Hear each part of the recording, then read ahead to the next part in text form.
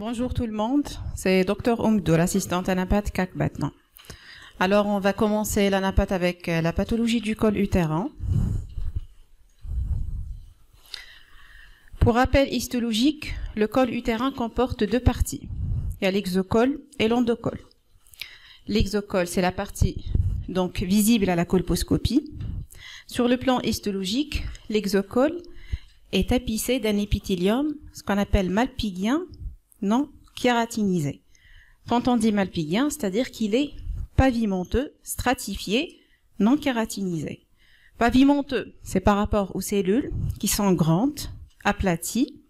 Stratifié, c'est-à-dire il y a plusieurs couches cellulaires. Non kératinisé, en surface de l'épithélium, il n'y a pas de couche cornée. Ça, c'est une coupe histologique d'un épithélium de l'exocole. Bon, curseur, je le vois pas. Voilà, il y a plusieurs couches. La couche basale. Après, il y a une couche de cellules qu'on appelle les cellules parabasales. Après, il y a plusieurs couches de cellules kératinocytaires ou cellules malpighiennes. En superficie, il n'y a pas de kératine. Ça, c'est l'exocole. Au-dessous de l'épithélium de surface, il y a le corion. Le corion, c'est du tissu conjonctif vascularisé. Donc, oui, dans l'exocole, il n'y a pas de glande au-dessous de l'épithélium de surface. Alors que dans l'endocole, l'endocole qui est tapissé d'un épithélium cylindrique mucosécrétant, c'est-à-dire il possède un noyau basal surmonté d'une mucosécrétion. Au-dessous de cet épithélium, il y a un corion conjonctif qui comporte des glandes, des structures glandulaires tapissées par le même type d'épithélium de surface. Entre l'endocole et l'exocole, il y a ce qu'on appelle la zone de jonction ou zone de transition. Il faut savoir que la transition entre l'épithélium malpigien de l'exocole et l'épithélium cylindrique mucosécrétant de l'endocole, elle est abrupte. C'est-à-dire, elle se fait directement. On a exocole, puis directement endocole. C'est au niveau de cette zone de jonction que se développent généralement les infections et tout ce qui est euh, lésions précancéreuses ou cancéreuses. C'est pour ça que les biopsies intéressent généralement et doivent intéresser obligatoirement la zone de jonction. Pour les lésions précancéreuses et cancéreuses du col sont liées, dans la majorité, à la persistance d'une infection par l'humain papillomavirus ou le HPV. Il faut savoir qu'il y a plusieurs sous-types de HPV. Mais les deux types qu'on appelle les types à haut risque oncogénique, c'est les HPV 16 et 18. Le reste des sous-types entraînent généralement des infections transitoires. Mais pour le HPV 16 et 18, peuvent entraîner des infections persistantes qui peuvent mener à l'apparition des cancers.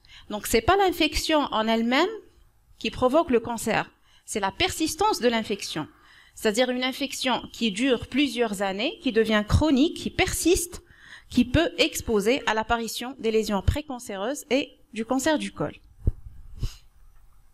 L'infection et la persistance virale se font préférentiellement, bien sûr, au niveau de la zone de jonction. Pour dépister ces lésions, il faut la réalisation de la cytologie, qui est le FCV, qu'on peut compléter ou non par une biopsie selon le résultat du FCV. Il existe donc trois grades de gravité croissance des néoplasies cervicales intraépithéliales en fonction de l'importance des anomalies cytologiques et histologiques. C'est-à-dire au début, on a une infection à HPV. Si cette infection persiste, elle va entraîner ce qu'on appelle les néoplasies intraépithéliales cervicales ou les signes. C'est-à-dire donc les cellules à l'épithélium malpigien, elles deviennent atypiques avec un noyau irrégulier, hyperchromatique, quand les cellules atypiques intéressent uniquement le tiers inférieur de la hauteur épithéliale. On parle de signe 1. Quand ces atypies intéressent les deux tiers, on parle de signe 2. Quand ça intéresse toute la hauteur de l'épithélium, on parle de signe 3. faut savoir que l'infection par HPV, elle est généralement transitoire, c'est-à-dire elle disparaît au bout d'une année, dans 85% des cas. Dans 15% des cas, cette infection persiste. Et je vous ai dit que c'est surtout les infections liées au HPV 16 et 18 qui persistent et peuvent donner des lésions précancéreuses. Après la persistance, il y a un délai de 2 à 6 ans pour développer une lésion de signe 1. Donc, on peut arriver au stade de signe 1 et ça s'arrête là. Comme ça peut évoluer encore vers des lésions de signe 2. Et ça prend encore du temps, entre 3 à 5 ans. Signe 2 peut, c'est-à-dire s'arrêter à ce stade ou évoluer vers une signe 3 dans une période de 5 à 15 ans. Donc vous voyez entre l'infection et l'apparition d'un carcinome invasif, la durée, elle est vraiment longue. D'où l'intérêt de dépister l'infection à HPV. Si on détecte une infection à HPV, on va éviter déjà l'arrivée au stade de lésion précancéreuse et l'arrivée au stade de cancer. Et si on dépiste une signe 1, c'est pas comme on dépiste une signe 2. Donc vous voyez que le dépistage a une grande importance pour éviter l'arrivée au cancer du col. Malgré ça, le cancer du col en Algérie, il est vraiment très, très fréquent. Donc, retrouver au cours des frottis, donc ces lésions, on va les trouver euh, au cours euh, de la réalisation des frottis cervico-vaginaux, c'est-à-dire au cours de l'examen euh, cytologique, puis on confirme la lésion et on précise le degré de la lésion par biopsie. C'est-à-dire que la cyto va juste nous dire que, par exemple, cette femme peut présenter une, une, lésion signe 1 ou signe 2 ou signe 3. Mais c'est l'examen histologique, c'est la biopsie qui confirme ou infirme l'existence ou l'absence de cette lésion. Donc la cytologie reste toujours un examen d'orientation, c'est pas un examen de confirmation. Parce qu'il y a des cytos qui sont diagnostiqués comme des lésionnels. Après, quand on fait une biopsie, c'était juste des cervicites c'est juste inflammatoire. Alors au contraire, il y a des, des sites où on répond euh, c'est inflammatoire, c'est bénin. Après, quand on réalise une biopsie à long terme, c'est avéré que c'était lésionnel. Donc vous voyez que la cyto reste un examen toujours d'orientation et pas de confirmation. Donc pour le dépistage, le dépistage des lénioplasies intraépithéliales cervicales ou du cancer se fait par cytologie ou ce qu'on appelle le frottis cervico-vaginal. Mais le diagnostic de certitude et l'évaluation du degré des lésions se fait par biopsie, colposcopie et biopsie. Bien sûr avec examen anapote. Pour le dépistage primaire avec le test HPV, vous voyez, il y a une grande importance pour le test HPV parce qu'il va nous éviter plusieurs étapes. Si on réalise un test HPV et qu'il est négatif, on refait un test HPV après 5 ans. Si le test HPV est positif, on fait FCV. Si la cytologie est normale, on refait un test HPV à 1 an. S'il est négatif, on le refait après 5 ans. S'il est positif, on fait directement la colposcopie. Si la cytologie elle est anormale, c'est directement la colposcopie. Vous voyez l'intérêt du test HPV. Pour la cytologie, le dépistage est débuté généralement au début de l'activité sexuelle. Chez les femmes entre 25 et 65 ans, on réalise un premier frottis, puis tous les trois ans après, si on réalise par exemple le premier FCV, il est normal. On refait un deuxième un an après. Si les deux premiers frottis sont normaux, on refait un troisième frottis trois ans après.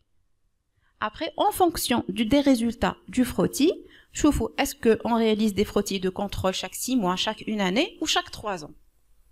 En fonction des résultats. Mais au début, on doit réaliser, réaliser deux FCV à un an d'intervalle.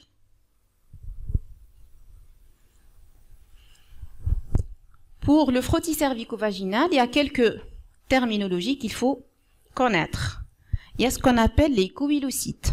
C'est quoi les coïlocytes C'est des cellules dont l'aspect est évocateur d'une infection à HPV. C'est-à-dire, si on réalise un frottis cervico-vaginal et on trouve un coïlocyte, c'est que cette femme a une infection HPV. Cette cellule se voit principalement sur frottis et sur biopsie. Elle se produit à la suite d'une infection de cellules malpighiennes. Ah, donc les cellules qui constituent l'épithélium malpigien, quand, quand elles s'infectent par le HPV, elles donnent l'aspect de coïlocytes. C'est quoi ces coïlocytes C'est des cellules malpighiennes qui contiennent un noyau hyperchromatique. Le noyau devient irrégulier, hyperchromatique ou là binucléé, c'est-à-dire deux noyaux. Ce noyau atypique, il est entouré d'un halo clair avec un renforcement cytoplasmique en périphérie. Voici quelques images des coïlocytes. Vous voyez, non? Bon, ça, c'est un coïlocyte avec un seul noyau hyperchromatique. Autour du noyau, il y a un espace clair ou un halo clair. Puis, après la clarté, la vacuole périnucléaire, on trouve un cytoplasme bleu, basophile. Si on prend par exemple ce coïlocyte, on voit qu'il a un noyau binucléé. Voilà. Avec halo clair périnucléaire et un renforcement périphérique cytoplasmique. Donc le coïlocyte, il est défini par l'atypie nucléaire. C'est pas uniquement la présence de la vacuole périnucléaire qui va dire que cette cellule est un coïlocyte. Parce que lorsque les cellules malpighiennes, par exemple, sont riches en glycogène, par exemple, euh, après l'accouchement, les cellules mapiguiennes sont riches en glycogène. Si on fait une cytologie après l'accouchement, on va avoir des cellules entourées d'halo clair, mais c'est pas des coïlocytes. C'est juste des cellules riches en glycogène. Donc c'est l'atypie nucléaire qui définit le coïlocyte. C'est une cellule atypique. C'est pas une cellule normale. Deuxième terme, c'est les néoplasies intraépithéliales cervicales ou les signes c'est des altérations morphologiques témoignant de l'existence d'un processus néoplasique à un stade précoce non invasif au niveau du col de l'utérus. Comme je vous ai expliqué, c'est des atypies cellulaires qu'on trouve au niveau de l'épithélium malpigien. Quand c'est juste au niveau du tiers inférieur, on parle de signe 1. Deux tiers, c'est signe 2. Toute la hauteur, c'est un signe 3. Signe 3, c'est synonyme de carcinome in situ. C'est la même chose. Quand ça dépasse la membrane basale et ça infiltre, ça commence à infiltrer le corion, dans ce cas, on parle de carcinome invasif. Donc, on a signe 1, après signe 2, signe 3 ou carcinome in situ, c'est la même chose. Si ça dépasse la membrane basale et infiltre le corion, on parle de carcinome invasif. Voici donc un schéma concernant les signes. Ça, c'est un aspect normal d'un épithélium malpigien. Quand l'apparition de cellules atypiques intéresse juste le tiers inférieur, on est en signe 1. Quand ça intéresse les deux tiers, en signe 2. Si ça intéresse toute la hauteur, c'est une dysplasie sévère ou signe 3 ou carcinome in situ. Ça dépasse la membrane basale, ça infiltre le corion, c'est un carcinome invasif. D'autres terminologies utilisées en FCV, Selon le système Bethesda, avec lequel, c'est-à-dire on interprète les frottis cervico-vaginaux, on a LCIL. Quand on dit LCIL, c'est une lésion malpighienne intra-épithéliale de bas grade. Quand est-ce qu'on dit LCIL Quand on réalise un frottis, parce que cytologie, c'est pas histologie. Cytologie, on a que les cellules. Histologie, on a l'épithélium, c'est-à-dire on a l'architecture.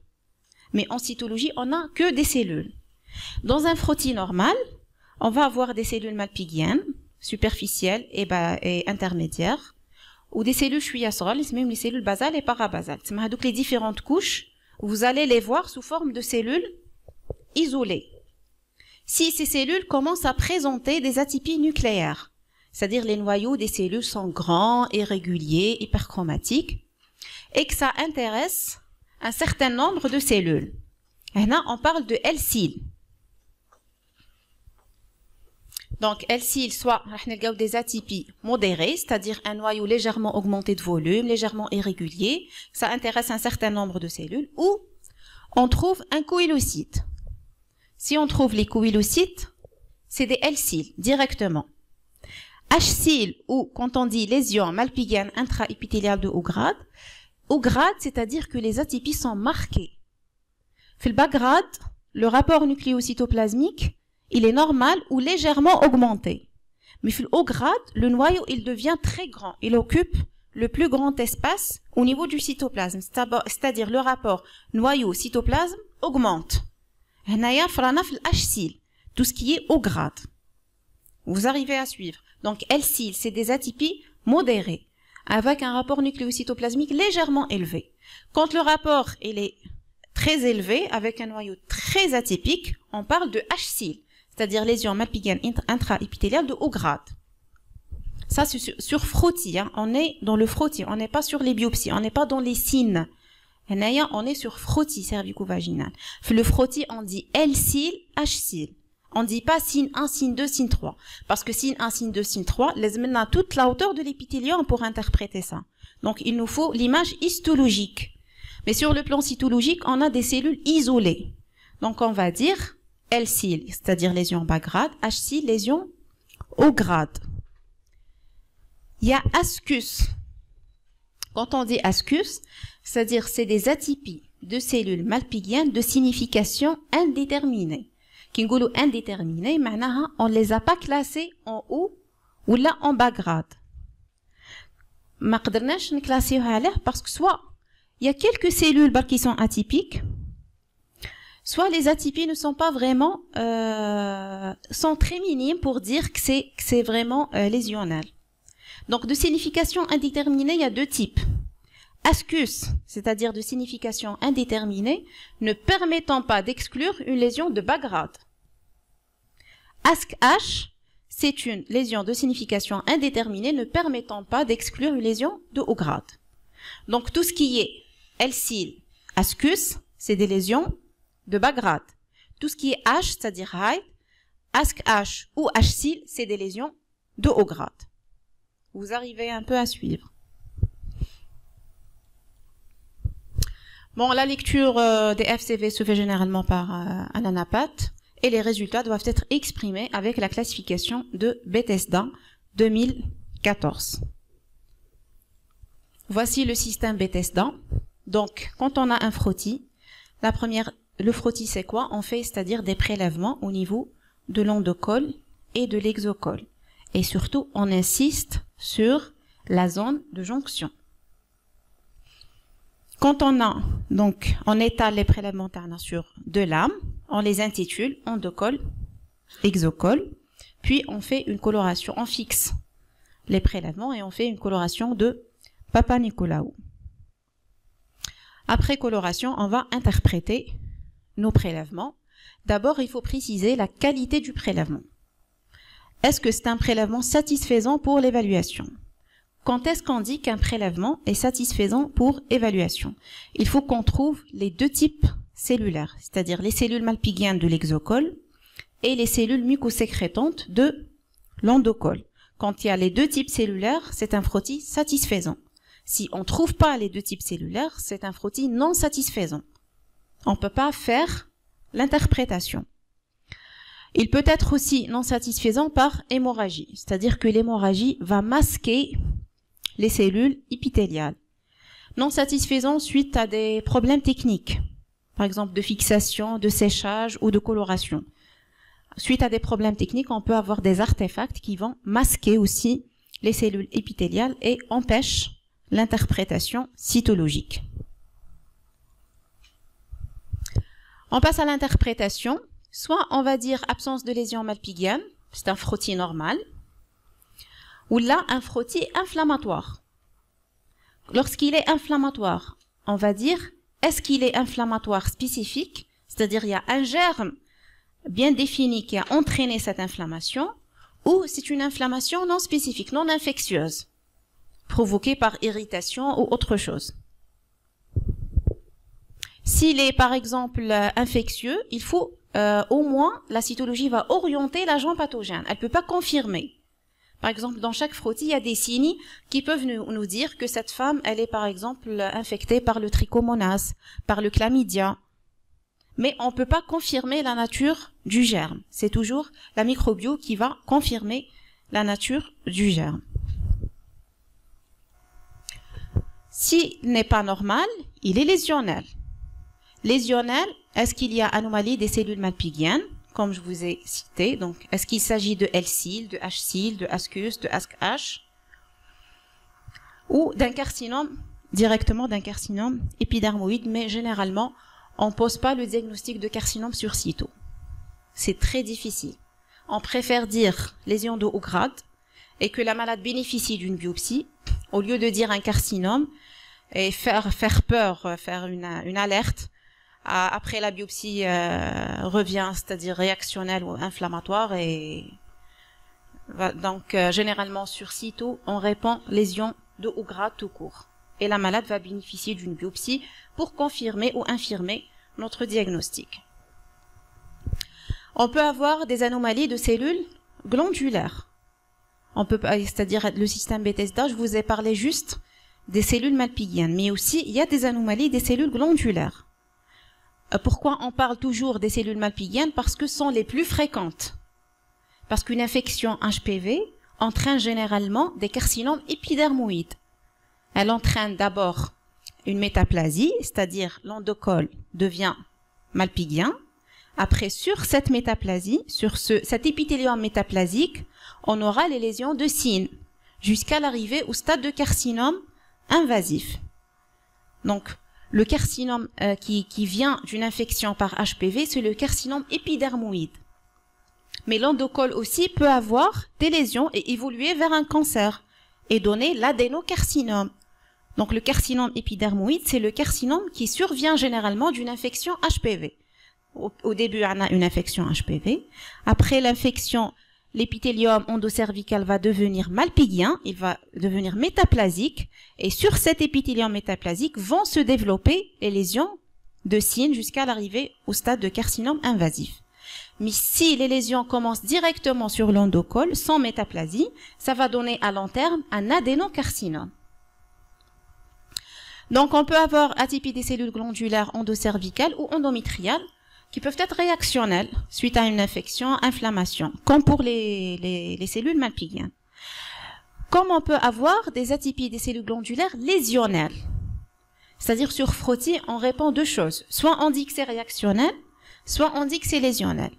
Si c'est lésionnel, ça englobe le tout. Ça englobe les carcinomes, l'adénocarcinome in situ, l'adénocarcinome infiltrant. Donc il y a deux types de types de cellules glandulaires. Pas comme pour les cellules malpighiennes, il y a quatre types. Pour les cellules glandulaires, il y a deux types. Soit on dit réactionnel, soit on dit lésionnel. Réactionnel, il n'y a pas de contrôle. Lésionnel, c'est directement la biopsie. Ça, c'est quelques conduites devant les résultats des FCV. Preview, ça. Voilà. Si par exemple, on réalise une cytologie et qu'on répond ASCUS, après l'âge de 30 ans, on fait un test HPV. S'il est négatif, on, fait une on refait une cytologie trois ans après. Si le test est positif, on fait directement la colposcopie avec biopsie. Mais en Algérie, on a c'est pas tous les centres qui ont le test HPV. Il y a sur deux centres. Il y a l'Ouest et il y a le centre. Ici en Flest, il y avait une plateforme au CAC, mais ça marche pas. Donc quand on répond à SCUS, on refait généralement un frottis six mois après. Parce qu'on n'a pas le test HPV. Si la cytologie dit LCIL, LCIL directement biopsie. LCIL, ASC-H, HCIL, c'est la colposcopie avec biopsie. Donc juste le cas, le ascus, qu'on refait le frottis après un an ou après six mois en fonction de la gravité. Si le frottis est inflammatoire ou le germe est détecté, on donne un traitement adapté au germe et un traitement anti-inflammatoire et on refait un frottis après terminer le traitement pour voir est-ce que les lésions euh, qu'on a vues au début c'était juste des lésions secondaires à l'inflammation ou c'est des lésions néoplasiques. Parce que si ces lésions disparaissent après traitement, c'est réactionnel. Si elles persistent après traitement, c'est lésionnel et ça nécessite la biopsie. Bon, ça, c'est les différentes conduites. Donc, pour les lésions précancéreuses, euh, ça va. Y a-t-il des questions? Donc, après tout ce qui est précancéreux, il y a le stade du cancer. Pour le cancer du col, euh, il est au septième rang en fréquence en France. En Algérie, j'ai pas de statistiques, mais il est de plus en plus fréquent et de plus en plus agressif. L'incidence est d'environ 3300 euh, cas par an, avec un pic d'incidence vers 50 ans. En France, l'incidence est en baisse grâce au dépistage et au traitement des lésions précancéreuses. Mais en Algérie, le dépistage est vraiment délicat. Et j'espère bien sensibiliser les gens parce qu'ici à Batna, il y a trois centres de dépistage. Aïntouta, euh, Marwana et Hamla. Donc il y a trois centres qui font que le dépistage du cancer du col. Donc toute femme en activité euh, sexuelle à partir de 25 ans, elle doit faire un dépistage du cancer du col.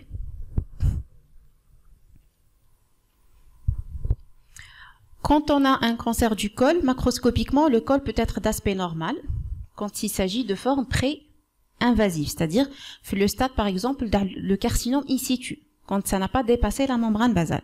Quand ça devient infiltrant, ça devient visible macroscopiquement et à la colposcopie.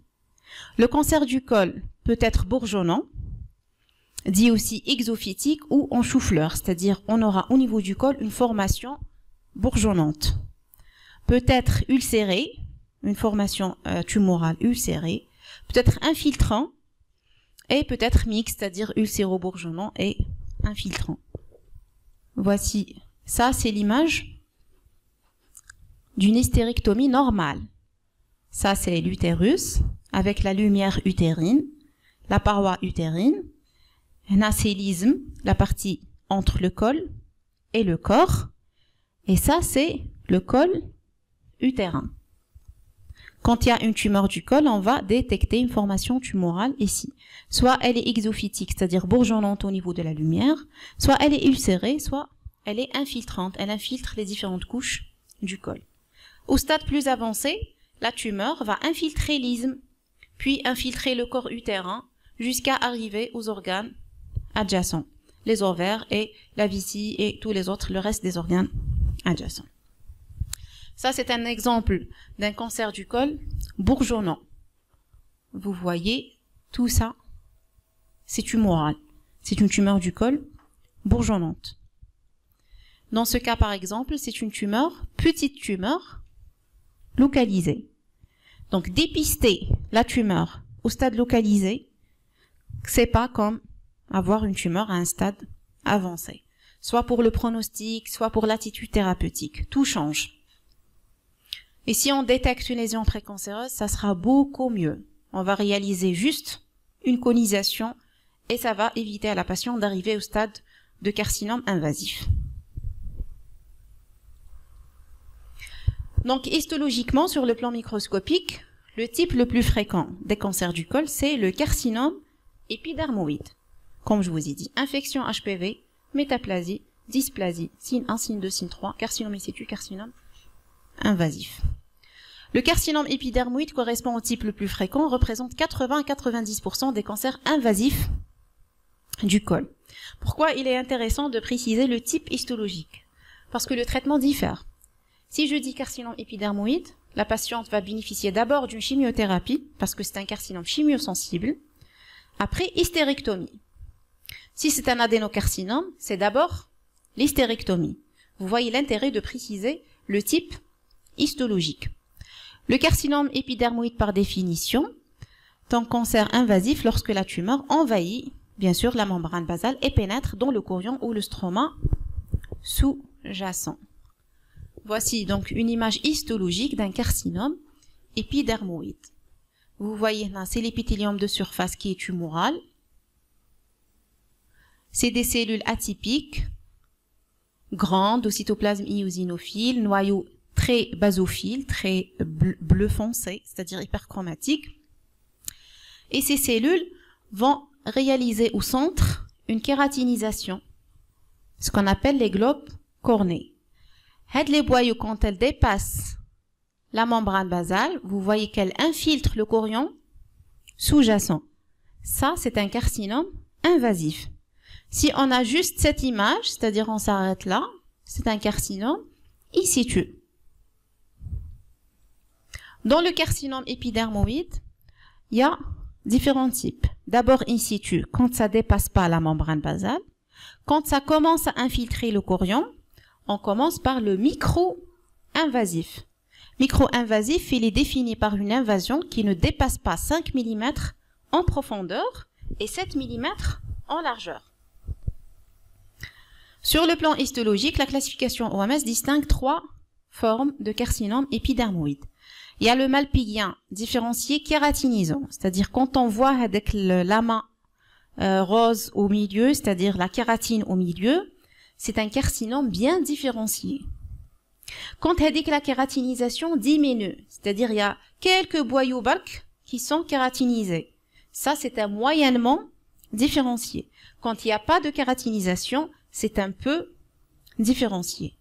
Pourquoi c'est intéressant quand on dit bien différencié Il est de plus bon pronostic par rapport au peu différencié. Guide me dit la différenciation et qu'on le pronostic meilleur. Deuxième type de carcinome qui se développe directement sur des lésions de l'endocole, c'est l'adénocarcinome. L'adénocarcinome classique, il est soit de type endocervical, Kingolo de type endocervical, c'est-à-dire qu'il va reprendre l'architecture normale de l'endocole. C'est des glandes malignes, mais qui ressemblent à l'endocole normal et qui vont infiltrer l'ensemble de la paroi endocervicale. Quand on dit de type endométrial, c'est-à-dire qu'il euh, reproduit la, la, structure histologique de l'endomètre. C'est ça de type endocervical, de type endométrial. C'est le classique, le plus fréquent. Il y a d'autres types d'adénocarcinome, mais qui sont de plus mauvais pronostics. Vous voyez, pour toute tumeur maligne, à la différenciation, la tumeur, c'est-à-dire elle se rapproche de la structure normale du tissu, le pronostic bon. Contre la différenciation, le pronostic devient plus mauvais.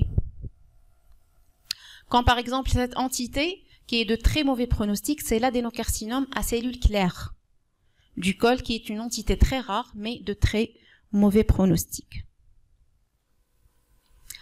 On observe actuellement une augmentation de la proportion des adénocarcinomes dans le cancer du col. Son incidence est difficile à apprécier dans la mesure où elle est estimée de 10 à 20% des cancers invasifs du col, alors qu'il y a une vingtaine d'années, il représentait que 5%.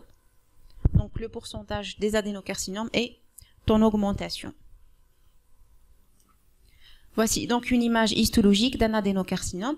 Quand on dit adéno, c'est-à-dire c'est des structures glandulaires. Glandulaire, c'est une structure avec lumière et tapissée d'un épithélium cylindrique. Quand l'épithélium euh, reproduit ou se rapproche de l'endocole normal, goulot de type endocervical. Quand il est de type endométrial, se rapproche du tissu endométrial normal. Quand c'est des cellules claires, c'est un adénocarcinome à cellules claires. Autres cancers du col qui sont très rares par rapport aux deux premiers. Donc l'épidermoïde, c'est le plus fréquent, suivi de l'adénocarcinome. Mais il y a d'autres cancers qu'on peut observer au niveau du col, comme par exemple les sarcomes et les mélanomes, ainsi que les lymphomes malins. Mais c'est des, c'est des tumeurs vraiment, vraiment très rares. On passe au diagnostic des cancers du col utérin. En cas de frottis anormal, les différentes options diagnostiques, seules ou associées, sont les suivantes. Donc, en fonction du résultat du FCV, soit on va refaire, euh, on fait un contrôle par un autre FCV, ou on passe directement à la colposcopie avec biopsie. Pour la détection d'HPV, je vous ai dit, ici, c'est pas disponible, mais c'est l'idéal. Il va nous éviter l'arrivée au stade de biopsie.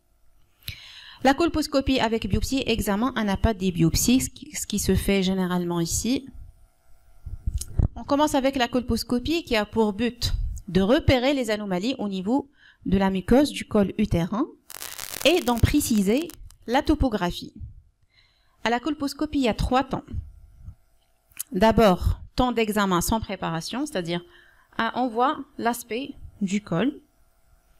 Après application de l'acide acétique, les zones malpighiennes anormales deviennent blanches. Tant après application de l'ugol où les zones malpighiennes anormales ne sont pas colorées en brun par le lugol et sont dites iodo-négatives. Donc la biopsie, elle va intéresser les zones blanches après application de l'acide acétique et va intéresser les zones qui ne sont pas colorées en brun par le lugol ou ce qu'on appelle les zones iodo-négatives. C'est-à-dire les zones les les lésions. On fait des biopsies et on envoie au labo d'Anapat pour avoir les résultats. Considéré comme la colposcopie, il y a la colposcopie dite satisfaisante, comme elle peut être non satisfaisante. Quand est-ce qu'elle est satisfaisante Si la jonction est vue? Donc on doit voir la jonction non satisfaisante quand elle n'est pas vue. Les biopsies sont dirigées sur les ondes blanches ou iodo-négatives et sur la jonction avec demande d'examen anapat pour diagnostic. Après, selon le diagnostic, est-ce que c'est une signe 1, signe 2, signe 3, in situ, infiltrant? Est-ce que c'est un épidermoïde? Est-ce que c'est un adénocarcinome? Donc, en fonction du résultat anapat, ça va préciser l'attitude thérapeutique. En utilisant la vaporisation, euh, donc euh, la première option, c'est la destruction locale euh, de, la lésion par vaporisation laser pour les lésions de signe 1 ou les signes d'infestation virale à HPV sont dysplasie. S'il y a signe 2, euh, signe 3, c'est la conisation, c'est-à-dire on enlève juste la partie malade au niveau du col. Voilà, ça c'est la conisation. Si c'est un euh, si euh, c'est bon, c'est un carcinome in situ infiltrant, donc il faut la chimiothérapie première après l'intervention ou intervention après chimiothérapie selon le type histologique de la tumeur. L'examen donc d'une pièce opératoire ou d'une pièce de conisation. Le compte rendu ANAPAT doit préciser le type histologique des lésions, c'est-à-dire est-ce que signe 1, signe 2, signe 3, in situ, carcinome épidermoïde ou l'adénocarcinome, taille de la tumeur. Je vous ai dit, par exemple, ici on dit micro-invasif, c'est-à-dire que ça n'a pas dépassé 5 mm euh, en profondeur, 7 mm en largeur. Et la taille de la tumeur macroscopiquement. Quand on reçoit la pièce d'hystérectomie, on voit la tumeur au niveau du col, on doit mesurer la taille de la tumeur. Après l'examen macroscopique, on fait des coupes au niveau de la tumeur avec examen au microscope optique. Dans ce cas, quand on fait l'examen au microscope, on va dire c'est un carcinome épidermoïde ou c'est un adénocarcinome. Est-ce qu'il est non invasif Est-ce qu'il est micro-invasif ou invasif? Est-ce qu'il y a des emboles carcinomateux Pourquoi l'intérêt de dire il y a des emboles ou non? Parce que s'il y a des emboles, il y a risque de métastase. Les limites chirurgicales endocervicales et exocervicales, est-ce qu'elles sont saines ou non? C'est-à-dire, ça dépend euh, de la pièce. Est-ce que c'est juste une conisation? Est-ce que c'est une hystérectomie euh, avec euh, annexectomie Est-ce que c'est une hystérectomie seule? Est-ce que c'est une hystérectomie avec d'autres organes de voisinage? Donc ça dépend de la pièce opératoire. Devant la découverte d'un foyer de micro-infiltration, en fonction de l'âge et du désir de la grossesse de la patiente, soit une trachylectomie, c'est-à-dire exérèse du col utérin, des paramètres et conservation de l'utérus, soit une hystérectomie totale avec ou sans conservation des annexes sera réalisée. Donc en fonction des résultats anapathes, on va décider de, du complément chirurgical. Après, préciser le type, euh, préciser la nature, la taille, la présence ou l'absence d'emboles carcinomateux, les limites d'exérèse, vient la classification FIGO. Donc, on parle de stade 1 contre le carcinome de stade 1 est strictement limité au col utérin. C'est-à-dire ça n'a pas arrivé jusqu'à l'isthme ou le corps utérin ou les autres organes. Stade 1A, cancer invasif identifié par examen microscopique uniquement. c'est-à-dire euh, qui la pièce opératoire, on n'a pas vu de tumeur. Mais quand on a réalisé des coupes avec examen au microscope, c'est avéré que c'est malin, c'est un carcinome invasif. Là, on parle de stade 1A.